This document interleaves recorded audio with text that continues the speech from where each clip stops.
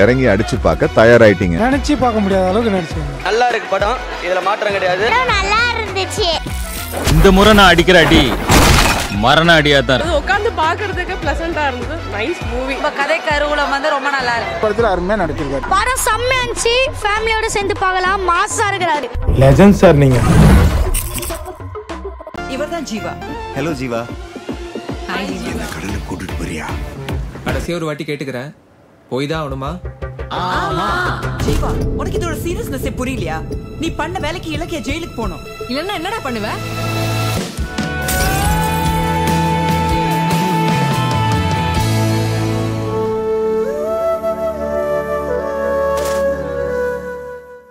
வணக்கம் வணக்கம் வணக்கம். நான் மனோபாலா. இன்னைக்கு நம்மளோட வேஸ்ட் பேப்பர் சேனல்ல என்ன சொல்லலாம்?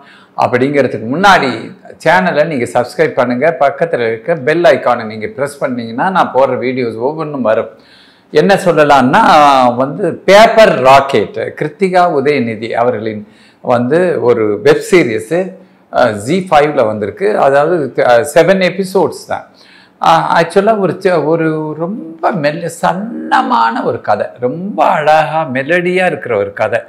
ஒரு அஞ்சாறு கேரக்டர் அஞ்சாறு கேரக்டரும் தனித்தனி குத குணம் தனித்தனி கதைகள் இருக்குது அந்த கதைகளை எப்படி ஹேண்டில் பண்ணுறாங்க அப்படிங்கிறதுக்கு ஒரு இது. கவுன்சிலிங் பண்ணால் கரெக்டாக ஆகுமா அப்படிங்கிற ஒரு எண்ணத்தில் பூர்ணிமா பாக்கியராஜ் வந்து கவுன்சிலிங் டாக்டராக வராங்க. அவங்க வந்து கவுன்சிலிங் உங்கள் கதையை சொல்லுங்கள் உங்கள் கதையை சொல்லுங்கள் அப்படின்னா ஒவ்வொருத்தரும் டிஃப்ரெண்ட் டிஃப்ரெண்ட் கதைகள் சொல்கிறாங்க அப்பயே உங்களுக்கு இது வேரியேஷன் ஆஃப் நிறைய ஸ்டோரியோட வேரியேஷன் வருது. அவங்க மொத்தம் ஒரு அஞ்சு பேர் இருக்காங்க. அந்த அஞ்சு பேருக்கும் டிஃப்ரெண்ட் டிஃப்ரெண்ட்டான கதை. அந்த கதையில் வர்ற பாத்திரங்கள் வந்து எப்படி கனெக்ட் ஆகுது அப்படிங்கிறது தான் இதில் உள்ள விஷயம்.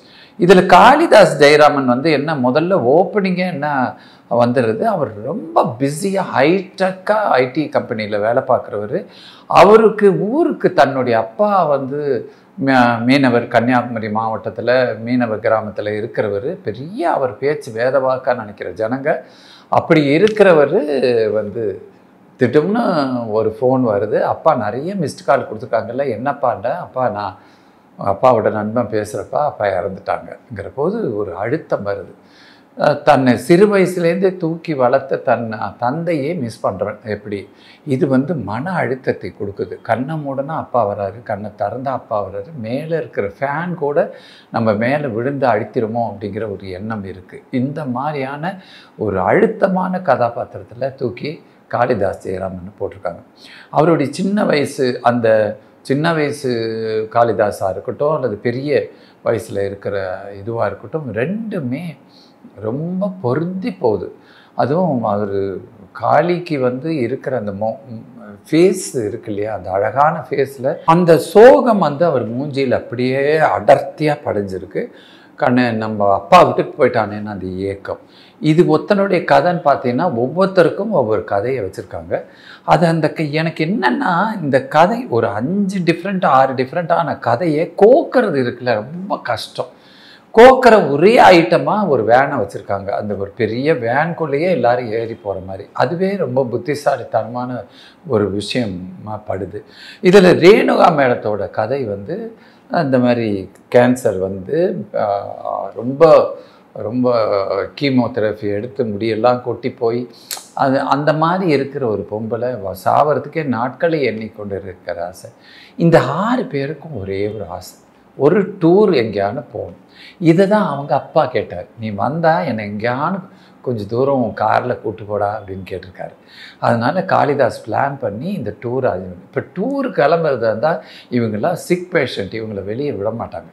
அதனால் ஒரு காரணத்தை சொல்லி தப்பிச்சு போகிறாங்க தப்பிச்சு போன பிறகு அந்த கன்னியாகுமரி கடலில் இருக்கட்டும் அங்கே வந்து நடக்கிற நிகழ்வுகளாக இருக்கட்டும் அடுத்தது மார்த்தாண்டத்தில் நடக்கிற நிகழ்வாக இருக்கட்டும் காரைக்குடியில் ந- நடக்கிற விஷயமா இருக்கட்டும் எல்லாமே ரொம்ப ரொம்ப இன்டென்சிவ் ஒரு ஸ்டோரியாக இருக்குது எல்லாமே. இதில் ரொம்ப ஒரு சின்ன லவ் ஸ்டோரின்னா அந்த அதுலேயே வந்த இன்னொரு பொண்ணுக்கும் காளிதாஸுக்கும் ஏற்படுற மைன்யூட்டான ஒரு விஷயம். அவ்வளோதானே தவிர வேறு எதுவும் கிடையாது. ஒவ்வொருத்தரும் ஒவ்வொரு கேரக்டராக இருக்காங்க. சிறு வயசுலேயே கா பெரிய நீச்சல் அடிச்சிட்டு இருந்த ஒரு பொண்ணு கால் விளங்காமல் போனது எப்படி அப்படிங்கிறதுக்கு ஒரு கதை வச்சுருக்காங்க. இப்படி ஒருத்தன் வேறு ஒருத்தன் தன்னுடைய காதலியை விட்டுட்டு வந்துட்டான். அவனை காதலிக்கு கொண்டு போய் ஒரு புடவை வாங்கி போய் அதை கொடுக்கறது. இது ஒன்று தான் அவனுடைய எய்மாக இருக்குது இப்படி வந்து நிறைய விஷயங்களை கோத்து கோத்து கோத்து மல்லிப்பூ தொடுக்கிற மாதிரி தொடுத்துருக்காங்க கிருத்திகா. ஆக்சுவலாக வந்து நான் வந்து சமீபத்தில் கூட ஒரு இன்டர்வியூவில் உதய் சொன்னார் உண்மையிலே டைலாக்லாம் நீங்கள் தான் எழுதினீங்களா? அப்படின்னு கேட்டார் தன் ஒய்ஃபை பார்த்து. அதே தான் நானும் கேட்குறேன். டைலாக்லாம் அவ்வளோ நல்லா இருக்குது உண்மையிலேயே அவங்க தான் எழுதியிருக்காங்க போல இருக்கு. ரொம்ப பிரமாதமாக இருக்குது அண்ணு நாதனுடைய ஒளிப்பதிவு ரிச்சர்ட் நாதனுடைய ஒழிப்பு ரொம்ப பிரமாதம்.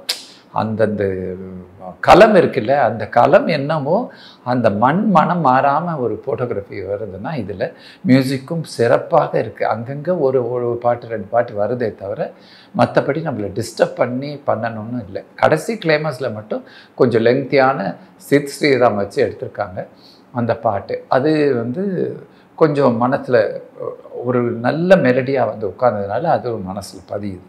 இப்போ வந்து ஒரு சினிமா துறையில் இருக்கங்க வெப் சீரிஸை மாறுற போது இந்த டிரான்சிட்டில் ரொம்ப கஷ்டமாக இருக்கும்.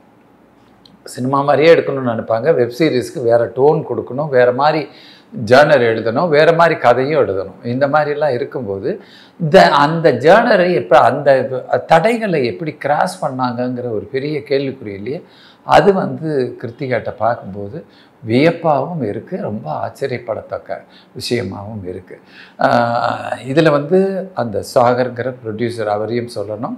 ஜி ஃபைவ் ஒரிஜினல் அவங்களுடைய இது வந்து நல்ல ஒரு நல்ல ஒரு நல்ல டீயோட நல்ல ஒரு பிஸ்கெட்டோட இல்லை வடையோட உட்காந்து ஏழு எபிசோடு பார்த்தா ஏழு எபிசோடு முடிகிற வரைக்கும் உங்களுக்கு வேறு சிந்தனை வராது. அதுவே இந்த பேப்பர் ராக்கெட்டுக்கு ஒரு பெரிய விஷயம். ஏன் இந்த பேப்பர் ராக்கெட் எனக்கு ஒரு பெரிய கேள்விக்குறி. அதுக்கு ஒரே ஒரு டயலாக் தான் எழுதியிருக்காரு. ஒரு பேப்பரில் நம்மளுக்கு பிடிச்ச விஷயம் நம்மளுக்கு தேவையான விஷயத்தை எழுதி ராக்கெட் பண்ணி விட்டிங்கன்னா அது கூடி சீக்கிரம் ஒரு டுவெண்ட்டி ஃபோர் ஹவர்ஸில் அந்த பொருட்கள் உங்களுக்கு வந்து சேரும். இதில் இது வந்து காதில் பூ சுற்றுற வேலையாக இருந்தாலும் அது நம்பக்கூடிய வகையில் சொல்கிற விதம் இருக்குது பாருங்கள் அதுதான் வந்து இதில் ரொம்ப இருக்குது உண்மையிலேயே அப்படி வருமா?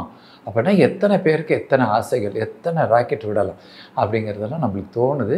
இருந்தாலும் அது ரசிக்கக்கூடியதாக இருக்கிறதுனால நல்லா அண்ட் அஃப்கோர்ஸ் வந்து இந்த டிசைன் இருக்குல்ல இந்த ரூட்டிங் மேப் போட்டு ஆரம்பிக்கிறதுலேருந்து கடைசி எண்டு வந்து முடியுது. அந்த பீக்கில் வந்து நின்றுட்டு அவங்க ஒரு கதையோட முடிவை பண்ணுறாங்க பாருங்கள் அது வந்து சிறப்போ சிறப்பு. அப்படியே கொஞ்சம் கொஞ்ச நேரம் அமைதியாக இருக்கும் ஆஃப் பண்ணிட்டு அமைதியாக இருந்தேன் நான். அதனால் இந்த இதை படமாக்கின அத்தனை டெக்னீஷியனுக்கும் முக்கியமாக கிருத்திகாவுக்கும் முக்கியமாக ரிச்சர்டுக்கும் அதில் நடித்த நடிகர்கள் அனைவருக்கும் என்னுடைய வாழ்த்துக்கள். வேஸ்ட் பேப்பர் சேனல் சார்பாக உங்களுக்கு வாழ்த்துகளும் நன்றியுடன் விடைபெறுவது மனோபாலன். சூப்பரா ரொம்ப நல்லா இருந்துச்சுங்க. இறங்கி அடிச்சு பார்க்க தயாராயிட்டீங்க. லெஜெண்ட் சூப்பரா நடிச்சிருக்காரு. அண்ணாச்சியோட தன்னம்பிக்கை கிடைச்சது தான் சார் இது. இந்த முறை நான் அடிக்கிற அடி மரண அடியா தான் society has to watch it was a very enjoyable movie. Action drama comedy everything together யா ஒரு நல்ல மெசேஜும் இருக்கு படத்துல. நிச்சயமா எல்லாரும் வந்து இந்த படத்தை தியேட்டர்ல பார்க்கணும். லெஜண்ட் சார் நீங்கள்